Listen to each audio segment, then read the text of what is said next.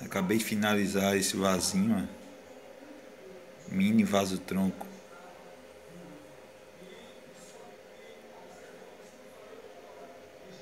Dá para colocar suculentas aqui, ó. é bem pequenininho.